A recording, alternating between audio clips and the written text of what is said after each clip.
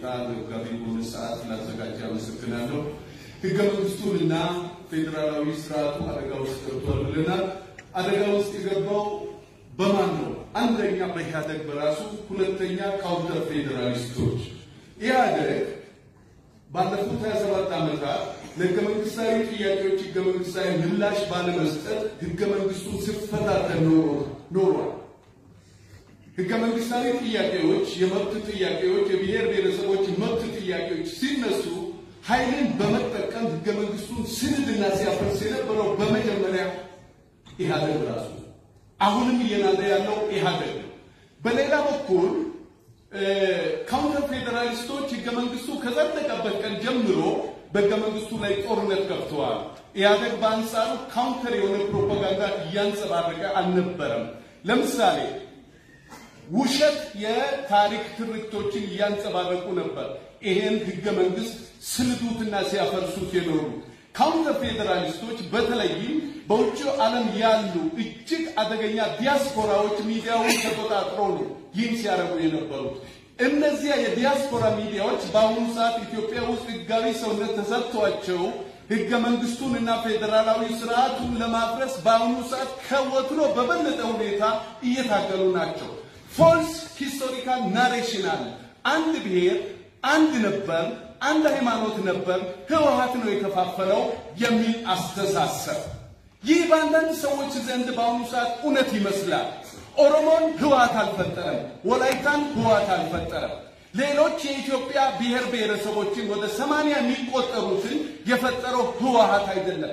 የየራሳቸው ታሪክ፣ ባህል የነበራቸው ህዝቦችን ሁሉ ጃንሆይና የጃንሆይ አሽከሮች በፈጠሩት ስሌት በአንድ በኩል ጤናማ ኢትዮጵያዊ፣ ጥሩ ኢትዮጵያዊ፣ መጥፎ ኢትዮጵያዊ እየተባለ okay የነበረውን ሁኔታ ዛሬ እነዚህ እነዚህ ዲያስፖራዎች hard core የሆኑ ዩኒየኒስቶች አህዳውያን በአሁኑ ሰዓት ከ27 ጀምሮ የነበረውን በአሁኑ ሰዓት አጋግሎ ቆይተዋል። በሌላ በኩል በኢትዮጵያ ውስጥ የብሔር ጭቆና የለም የሚል ትርክት ነው እየሰማን ያለ ነው። መንግስትም ጭምር ይሄ የብሔር ጭቆና የሚባል ነገር በኢትዮጵያ ውስጥ የለም ይላል።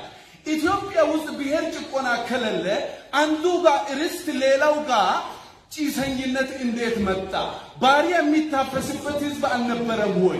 ኢትዮጵያ ውስጥ ሁላችን በምንኖርበት በዚያች አገር ለሪሶርስ ብቻ ታስሮ ፖለቲካዊ መብቱ የራሱን እድል በራስ የመወሰን መብቱ ተነፍጎ የኖረ ህዝብ የለም ወይ?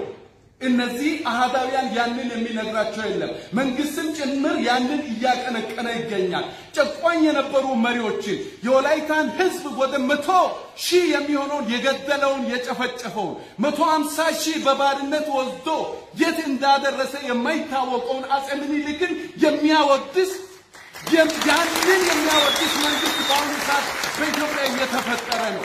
በሌላ በኩል ደግሞ የኦሮሞን ህዝብ የጨፈጨፈውን የገደለውን ያንን ከኦሮሞ የወጣ ከተጨቋኝ መደብ ከ1950ዎቹ ጀምሮ ከሜጫ ቱለማ ምስረታ ጀምሮ ይታገሉለት የነበረው መብትና ነፃነት ገፎ በአሁኑ ሰዓት ምኒልክን ለማንገስ ቤተ መንግስት ውስጥ የምኒልክን ሐውልት እያቆመ ያለ መሪ ነው ኢትዮጵያ ውስጥ የተነሳ። ይህ ብቻ አይደለም። ይህ ብቻ አይደለም። አንድ ገብሩ ታረቀ የተባለ ፕሮፌሰር የጻፈውን ነገር ልንገራችሁ። አንዱ የብሔር ጭቆና ethnic profiling ነው። ያ ጸሐፊ ሸዋዎች እንዲህ ይላሉ ይላል Oromo is animal፣ እሱ በሌላ ስም ይጠራል። Oromo is animal፣ Wolamo is slothful፣ Tigreans are flighty፣ Gurage are thief፣ the Gojjame are treacherous፣ the Gondere are proud ይላል። then power resides in our hand ይላል። so ይሄ ethnic profiling የጭቆናው ዋና መሰረት አይደለም ወይ?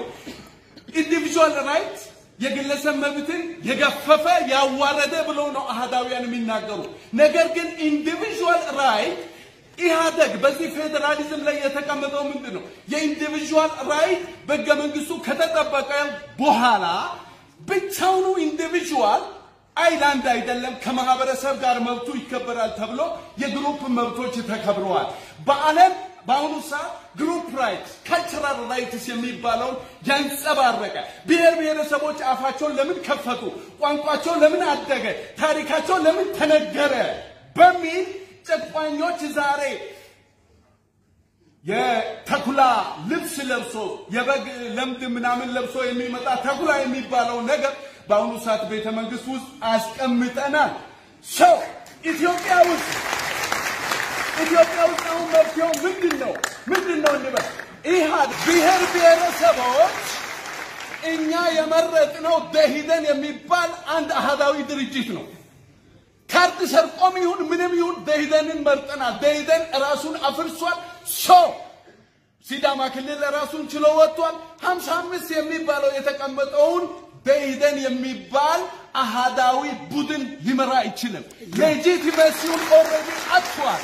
በኦሮሚያ ክልል ላይ ኦፒዲዮ አሁን ቅርብ ጊዜ ለምን እንደሆነ ኦፒዲዮ ራሱን ብሎ ሰየመ እንጂ ኦህዴድን ነው የኦሮሞ ህዝብ የመረጠው። መብቱ ነፃነቱን ያስከብራል፣ የዘመናት ጥያቄውን ይመልሳል ብሎ ነው። ሰው ራሱን ካከሰመ ወንበሩ ጭምር መክሰም አለበት። ምክንያቱም የኢትዮጵያ ብሔር ብሔረሰቦችን ውክልና ያፈረሰ ህብረ ብሔራዊ ፌዴራሊዝሙን እየደፋ ያለ መንግስት ነው በአሁኑ ሰዓት ያለው። ምን መደረግ አለበት?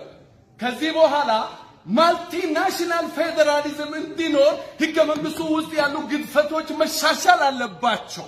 ለህገ መንግስታዊ ጥያቄዎች ህገ መንግስታዊ ምላሽ ሊሰጡ ይገባል። ለምሳሌ ፌዴሬሽን ምክር ቤት ላይ እንደ ኦሮማራ አይነት አሰራር ተቀምጧል።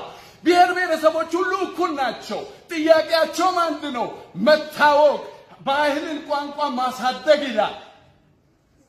አንድም የተለየ ጥያቄ የለም። የቁጥር ልዩነት አለ። ነገር ግን አንዱን ብሔረሰብ በአንድ ሰው ወክሎ population ን አምጥቶ demographic dictatorship ያመጣው የፌዴሬሽን ምክር ቤት ጉዳይ ሊታይ ይገባል። ልክ አሜሪካ ውስጥ እንዳለው ሀምሳ state ትንሹም ትልቁም ሁለት ጣት እንዳለው ሁለት መሆን አለበት የሚል ጽኑ አቋም አለኝ።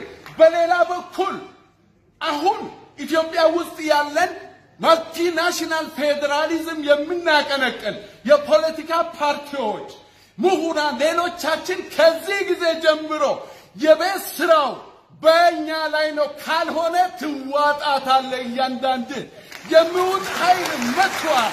ጨቋኝ መጥቷል። በአሁኑ ሰዓት ምኒልክ ሌላ ልብስ መጥቶ ተመልሶ ስለመጣ ልንጠነቀቅ ይገባል። የበላይነትን እናስከብር። አመሰግናለሁ።